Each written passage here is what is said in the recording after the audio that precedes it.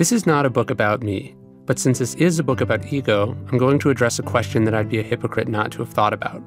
Who the hell am I to write it? My story is not particularly important for the lessons that follow, but I want to tell it briefly here at the beginning in order to provide some context. For I have experienced ego at each of its stages in my short life aspiration, success, failure, and back again and back again. When I was 19 years old, sensing some astounding and life changing opportunities, I dropped out of college. Mentors vied for my attention, groomed me as their protege. Seen as going places, I was the kid. Success came quickly. After I became the youngest executive at a Beverly Hills talent management agency, I helped sign and work with a number of huge rock bands. I advised on books that went on to sell millions of copies and invent their own literary genres. Around the time I turned 21, I came on as a strategist for American Apparel, then one of the hottest fashion brands in the world. Soon I was the director of marketing. By 25, I'd published my first book, which was an immediate and controversial bestseller, with my face prominently on the cover. A studio optioned the rights to create a television show about my life. In the next few years, I accumulated many of the trappings of success influence, a platform, press, resources, money, even a little notoriety. Later, I built a successful company on the back of those assets, where I worked with well known, well paying clients and did the kind of work that got me invited to speak at conferences and fancy events. With success comes the temptation to tell oneself a story, to round off the edges, to cut out your lucky breaks and add a certain mythology to it all. You know, that arcing narrative of Herculean struggle for greatness against all odds. Sleeping on the floor, being disowned by my parents, suffering for my ambition. It's the type of storytelling in which eventually your talent becomes your identity and your accomplishments become your worth. But a story like this is never honest or helpful. In my retelling to you just now, I left a lot out. Conveniently omitted were the stresses and temptations, the stomach turning drops and the mistakes. All the mistakes were left on the cutting room floor in favor of the highlight reel. They are the times I would rather not discuss. A public evisceration by someone I looked up to, which so crushed me at the time that I was later taken to the emergency room. The day I lost my nerve, walked into my boss's office and told him I couldn't cut it and was going back to school, and meant it. The ephemeral nature of bestsellerdom and how short it actually was a week the book signing that one person showed up at, the company I founded tearing itself to pieces and having to rebuild it twice. These are just some of the moments that get nicely edited out.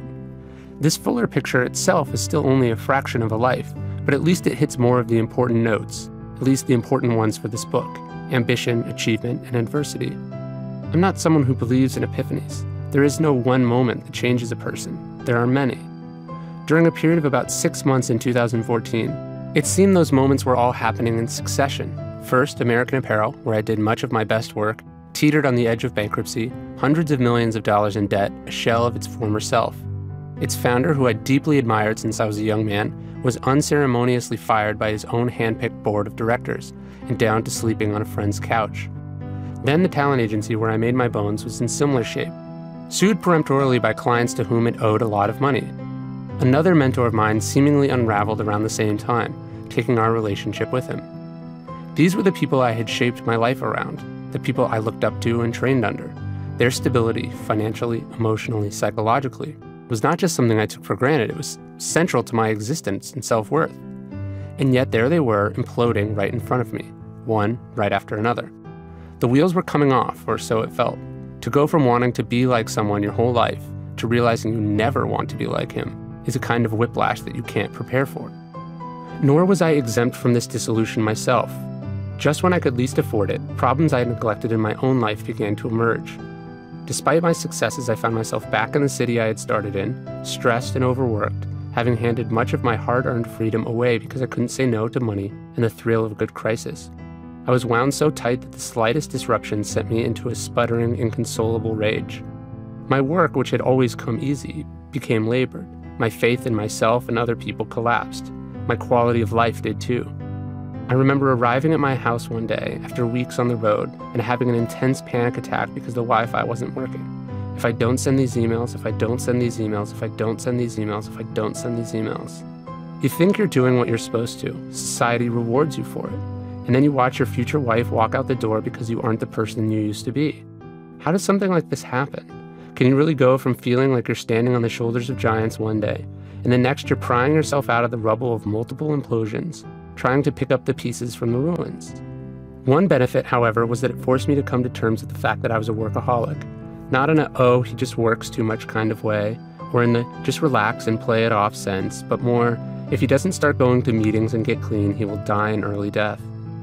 I realized that the same drive and compulsion that had made me successful so early came with a price, as it had for so many others.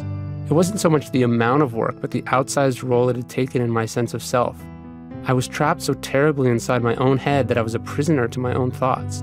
The result was a sort of treadmill of pain and frustration, and I needed to figure out why, unless I wanted to break in an equally tragic fashion.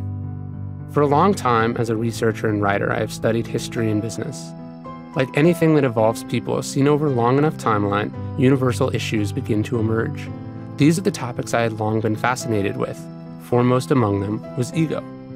I was not unfamiliar with ego and its effects. In fact, I had been researching this book for nearly a year before the events I have just recounted for you.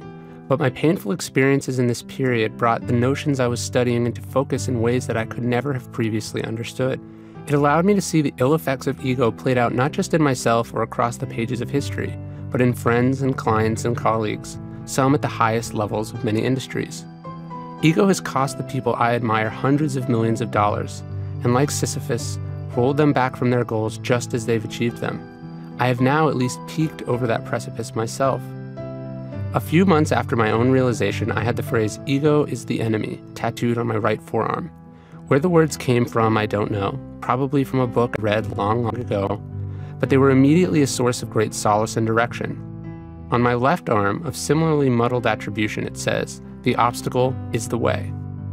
It's these two phases that I look at now every single day and use them to guide the decisions in my life.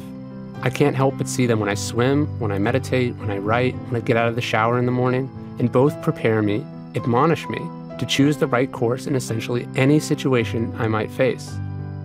I wrote this book not because I have attained some wisdom that I feel qualified to preach, but because it's the book I wish existed at critical turning points in my own life, when I, like everyone else, was called to answer the most critical questions a person can ask themselves Who do I want to be, and what path will I take?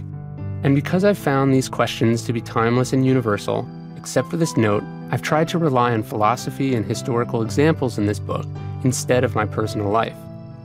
While the history books are filled with tales of obsessive, visionary geniuses who remade the world in their image with sheer, almost irrational force, I found that if you go looking, you'll find that history is also made by individuals who fought their egos at every turn, who eschewed the spotlight and put their higher goals above their desires for recognition. Engaging with and retelling these stories has been my method of learning and absorbing them. Like my other books, this one is deeply influenced by Stoic philosophy and indeed all the great classical thinkers. I borrow heavily from them all in my writing, just as I have leaned on them my entire life. If there's anything here that helps you in this book, is because of them and not me.